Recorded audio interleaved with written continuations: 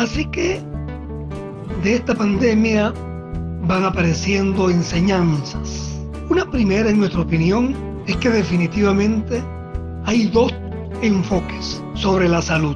Una, entenderla como un derecho, derecho individual, derecho social, o entenderla como una mercancía. Para quien la entiende como mercancía, pues ¿qué? ¿Cómo es posible construir un sistema de salud donde la salud es una mercancía, un bien individual? En el mercado depende de su capacidad de comprar la restitución de la salud o la salud como un derecho que obliga al Estado a garantizar.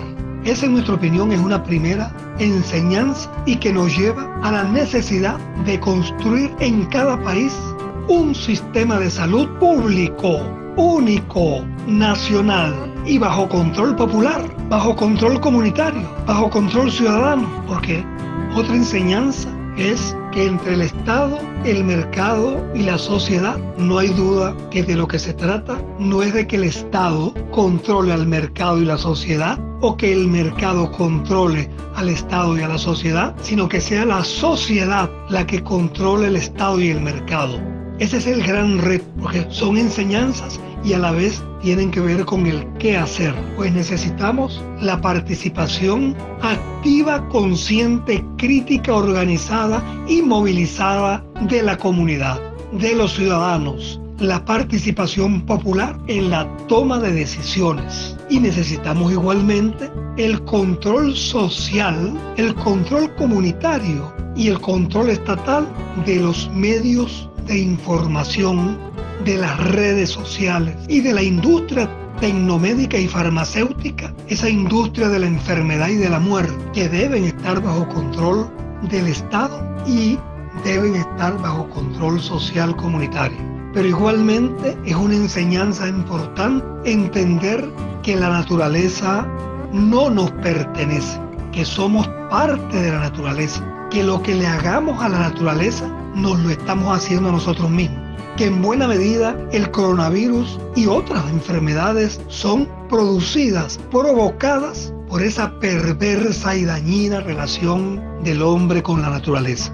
Pero también es una enseñanza entender que el saber científico y el saber popular se encuentran, se necesitan, se complementan. Y es en ese rescate del saber popular que tenemos otra enseñanza fundamental. Finalmente nos lleva entonces al qué hacer, hacia dónde debemos ir. Y allí la respuesta tiene que ver con plantearnos, ¿será que debemos volver a la normalidad? Como bien se ha dicho en esta crisis, es que la normalidad que vivíamos en buena medida es parte del problema, esa falsa normalidad, porque de lo que se trata es de construir una nueva manera de vivir que significa una nueva manera de alimentarnos, una nueva manera de organizarnos, de producir, de pensar, una nueva manera de criar los hijos, una nueva manera de jugar, de relacionarnos con el otro, con nosotros,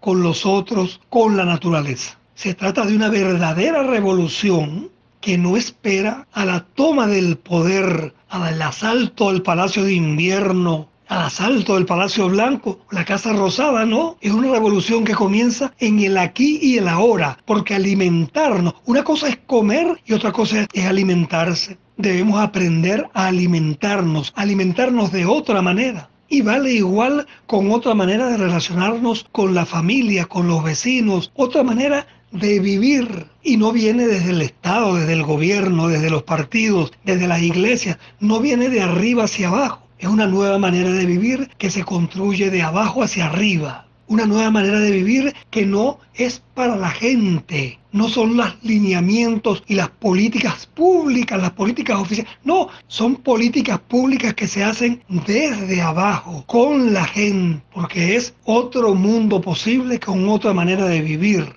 Que es, en definitiva, necesaria pero además es posible y es urgente porque lo que está en peligro es la vida humana sobre el planeta. Suena dramático, pero si no sabemos aprender de esta crisis, estamos condenados a repetirla y probablemente cada vez con más gravedad, con peores consecuencias? ¿Estamos al borde del precipicio o ya estamos en caída libre? Y pareciera que no nos damos cuenta. Estamos haciendo un drama y lo que estamos a veces es pensando que en lo que pase esta pandemia, volver a lo mismo que hacíamos antes, volver a esa normalidad. Esa es la magnitud del reto. Entendemos que es el momento de los grandes cambios que no vienen de arriba, sino que debemos construirlos entre todos para la salvación de todos. Y esa pequeña minoría, ese 1%, esos psicópatas que son gobernantes, esos sociópatas que están condenando la vida, no pueden seguir siendo